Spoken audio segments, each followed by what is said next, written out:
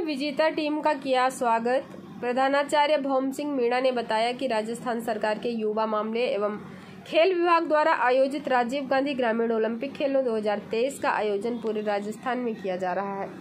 इसके अंतर्गत ग्राम पंचायत बोलिया बुज़ुर्ग की वॉलीबॉल महिला टीम द्वारा झालावाड़ जिला स्तर पर प्रथम स्थान प्राप्त करने पर ग्राम में रैली निकालकर ग्रामीणों द्वारा स्वागत किया गया। ग्रामीण ओलंपिक खेलों के लिए विद्यालय के शारीरिक शिक्षक सत्यनारायण सुमन, महिला कोच संतोष राठौर व रेखा कबर सोनगरा को भी सम्मानित किया गया।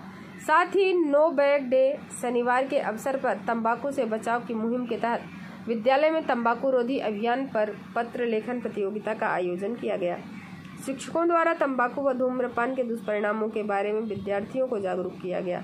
इस अवसर पर सरपंच गिरिराज भेल, पूर्व वार्ड पंच कालूराम भेल, दशरथ सिंह चौधरी रामेश्वर पाटीदार, लक्ष्मीकांत महावर, शेख मुशर्रफ दिनेश गुप्ता, रामू वर्मा धोबी, दिनेश गौड़ कारू लाल नागर मोहन लाल वर्मा, लालचंद मेघवाल, जगदीश राठौर, मुकेश राठौर मनभर बाई गोस्वामी ने विचार व्यक्त किए। कार्यक्रम का संचालन दिनेश गुप्ता द्वारा किया गया। बीपीए न्यूज़ संवाददाता किशोर तंवर की रिपोर्ट।